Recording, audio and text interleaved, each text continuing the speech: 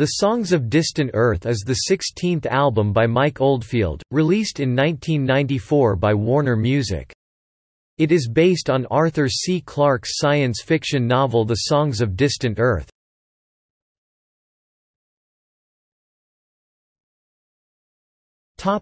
Release details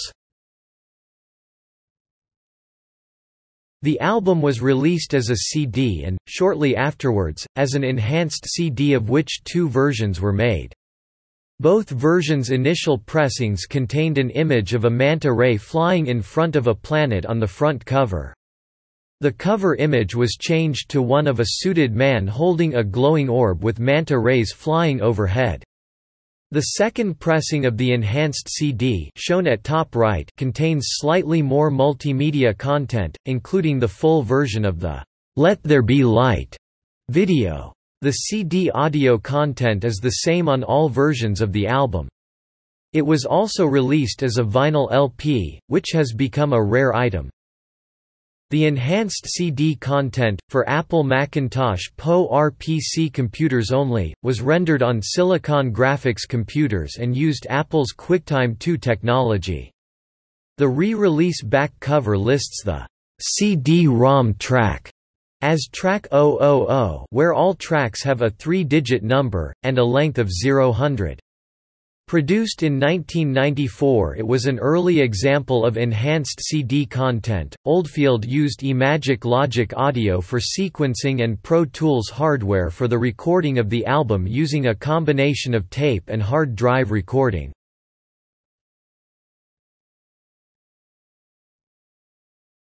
Topic: Track listing. In the beginning, 124 let There Be Light, 452. Supernova, 329. Magellan, 441. First Landing, 116. Oceania, 327. Only Time Will Tell, 419. Prayer for the Earth, 210. Lament for Atlantis, 244. The Chamber, 149. Hibernaculum, 332. Tubular World, 323. The Shining Ones, 259. Crystal Clear, 542. The Sunken Forest, 239. Ascension, 548. A New Beginning, 133. Topic: Inspiration. The then chairman of Warner, Rob Dickens, suggested to Oldfield that he should produce an album based on Clarke's novel, The Songs of Distant Earth. The LP cover and CD booklet of the album contain a foreword by Arthur C. Clarke about the evolution of the Songs of Distant Earth from short story to novel. It ends with the following about the album since the finale of the novel is a musical concert, I was delighted when Mike Oldfield told me that he wished to compose a suite inspired by it.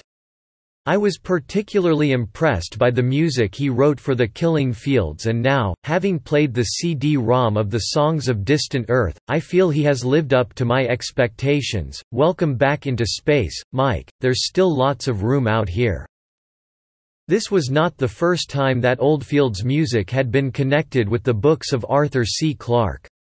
Prior to the Songs of Distant Earth, Oldfield released Tubular Bells 2, which contained a track called Sentinel, the title of a short story written by Arthur C. Clarke that later evolved into 2001, A Space Odyssey 1968.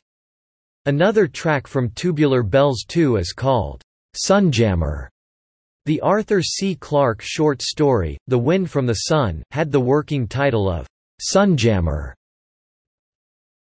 Topic personnel Greg Jackman, Assistant Engineer Steve McMillan, Assistant Engineer Tom Newman, Assistant Engineer Richard Berry, Technical Engineer Eric Cadieux, Additional Programming Mark Rutherford, Additional Rhythm Loops and Programming Sugar J, Additional Rhythm Loops Pandit Dinesh, Tablas Molly Oldfield, Keyboards Corey Hosius, Vocalist Ella Harper, Vocalist Nils-Aslak Valkeapaa Vocalist and composer performs his Yoik, dubbed as Prayer for the Earth on the album David Nicholas, vocalist Rome, vocalist members of Verulam Consort, vocalists The Tallis Scholars, vocalists Mike Joseph, Self-Hypnosis Tape Vahine Taihara, Tubuai Choir Apollo 8 Astronaut Bill Anders reading from the Book of Genesis while orbiting the Moon on Christmas Eve, 1968.